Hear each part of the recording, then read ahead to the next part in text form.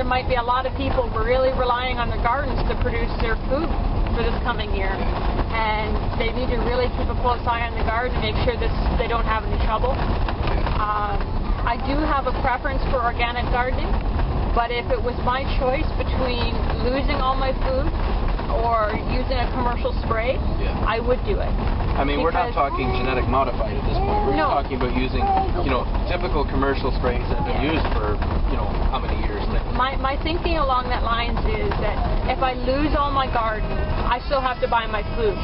I don't know what's been sprayed on the ones that I buy in the supermarket, right? But if I have to spray my own, at least I know what's been on it and how much and when. So I can control, I don't have to overspray, and I don't do it unless I absolutely have to. And to me, that means when it comes to the point where I'm going to lose the crop and be forced to buying it. Um, otherwise, you know, I keep hand picking, I keep, you know, doing my work by hand or whatnot. That's right. Well, like I But- say, we try to be organic as much as possible. Um, we're not uh, what you might call, you know, religiously organic. Uh, and I appreciate people that are. Like, don't get me wrong. I think that's a good thing. Oh, sure. But uh, in our particular case, you know, practicality is generally going to overrule in that in that particular case. Now, having said that, there are certain things you just want to draw the line to, like genetic modified. To me, that's not even food. You know, I'm sorry. I, I don't want to eat something that has pig genes in it to make, you know, or fish genes to make ice cream so it doesn't freeze. Like it's crazy some of the stuff they've come up with. Right. Uh, you know, using uh, a spray, a spray on something that's still a regular plant, like it's it's not genetically modified. To me, that's a little different. You know. Like, uh, well, there are organic uh, sprays. Like neem oil comes from a tree, and uh, it's a it's a pretty safe uh, pesticide and fungicide. Um, uh, BTK, I think I'm pronouncing that right. It's a natural bacteria in the soil um, that you can spray on. Get a footage of that. When we're. It's, um, we're just going on this backwards. Down Amish uh, Joel was here. Never been on this road actually before. It is a nice little uh, produce farm back there Yeah, I saw Amish family working together. Sorry. Continue there. That's okay. I can't remember what I was saying. So, anyways, um, once again, the people that informed us, I'm sorry, I can't remember particularly who it was because my wife is the one that passed it on to me. Thank you very much. Um, anybody else who cares to share on this, or anybody that has any past experiences concerning this, uh, share as much as you want. That'd be great. Um, once again, this also is a natural reason to lead to more inflation, as we just did a video on inflation there on some of the food products. Oh, I will add this little note too. Um, a couple of comments I received, and, and they're both right. Had I thought of it at the time, I would have said this. Um, it's true that they've always done things like this with our container sizing and whatnot. That's true. Although I've never seen it quite that drastic. Um, you know, usually they'll do a little bit at a time to not make it as noticeable. But uh, and also it is true that, um, like I did say, it's not a conspiracy amongst the grocery companies to get you know more money. It's things are passed down, and I think I did point that out. You know, look at the industry to see why. You know, that's true. Somebody wrote in a comment they're in the food industry, and um, that you know sometimes people forget they have to make a profit. They can't, you know, they're not charity. They can't give it. Absolutely. Uh, I've been in the food industry myself, actually. You know, for a number of years.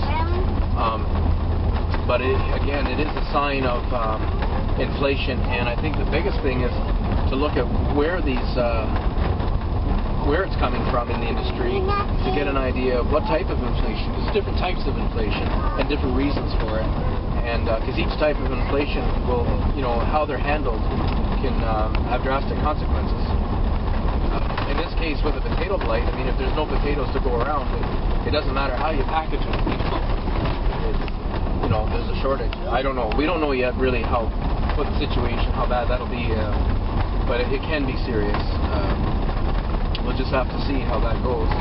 Well, it's like with the, the damage the, the wheat and grain crops around the world a few years ago caused with all the, the wheat prices and the flour going through the roof and the rice and everything. Yeah. Um, tomato and potato products are very much a staple in a lot of places.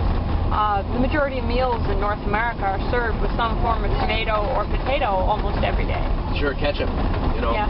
Uh, and again, you look at the fast food chains. Uh, I'm sorry to interrupt, but if you think about it, let's say this affects tomato products as well, which it probably will if it's nightshade It, related. it does. That's the main one right now. Okay, so look at it this way: you you've got uh, a multi-million dollar company like McDonald's, Burger King, um, you know, numerous chains, A and W, whatever, right? There's hundreds of, you know, lots of these multi-million dollar chains out there that, like my wife has said, they're under contract. Uh, Heinz Ketchup, you know, multi-million dollar corporation. And uh, these people are all bidding on this product. They're actually bidding against you, really, in a way, when you go to buy a bag for your family, you know, 50 pound bag of potatoes or, uh, you know, a basket full of tomatoes or whatever. But, uh, sorry, some guy driving behind me, he just stopped to open his door right in the middle of the road. I don't know. Anyways, um, you know, again, it's not it's not like a great big wow conspiracy, but just no, but just look at the practical side of it. It's true. You are going to be bidding against these kind of people. When there's plentiful stuff, nobody really notices it. But uh, as the uh, supply gets shortened, you will start seeing that. Um, just like it is amongst the world, you know, when it comes to oil. As the price goes up, you're, you know, poorer countries are competing against the wealthier countries for it.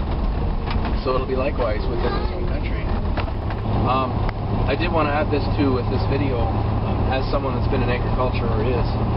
Um, diversification has always been um, a good thing.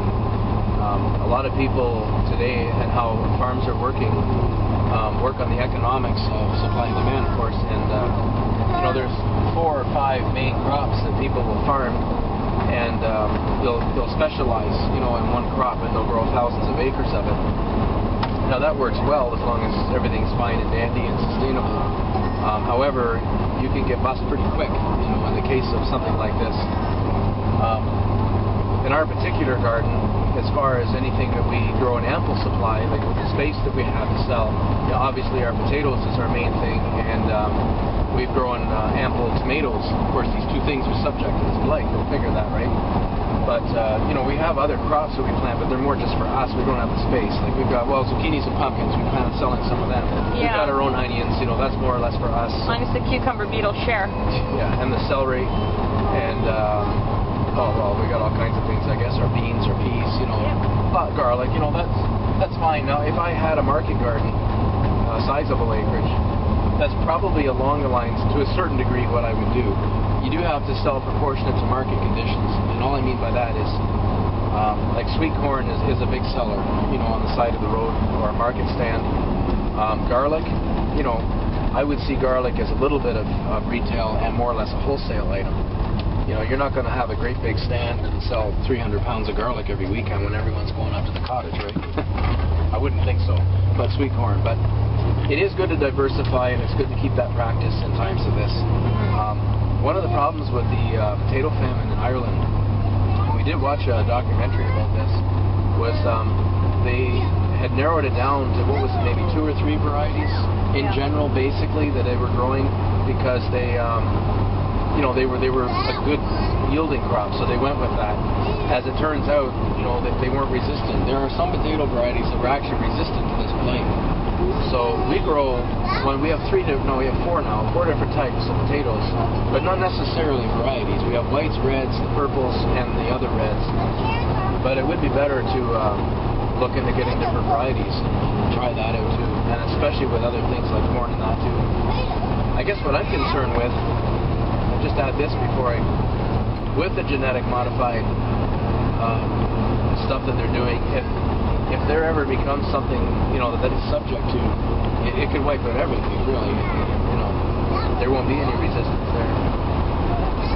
So, anyways, in the meantime, we'll um, we'll keep you updated as we learn ourselves what's going on with this. And uh, thank you very much for all your views.